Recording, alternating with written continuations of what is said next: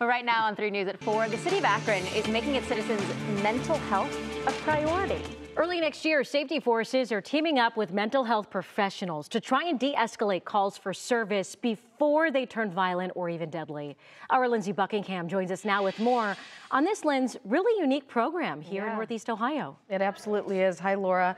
On Monday, Akron City Council voted to approve an $85,000 contract with the Alcohol, Drug Addiction, and Mental Health Services Board to establish Scout, a mobile crisis response team and a first of its kind in Ohio.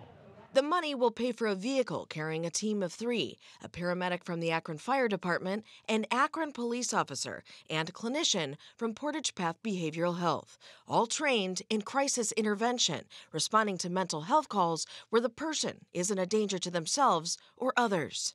The goal, according to Dr. Doug Smith, chief clinician to Summit County's ADM, is to give immediate support to the caller and try to avoid taking them to the hospital or jail. Hopefully, it's, it's somewhat more preventive.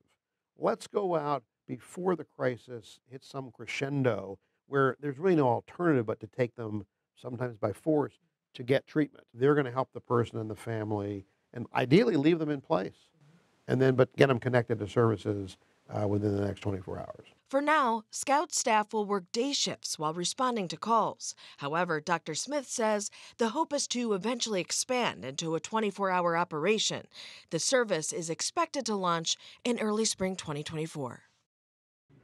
Well, coming up at 5, we're going to talk about how the need for these innovative response team has grown since the pandemic and why Dr. Smith says more cities should consider implementing them. Yeah, very important stuff. All right, Lindsay Buckingham reporting live for us in the newsroom on this Friday. Linz, thanks. You bet.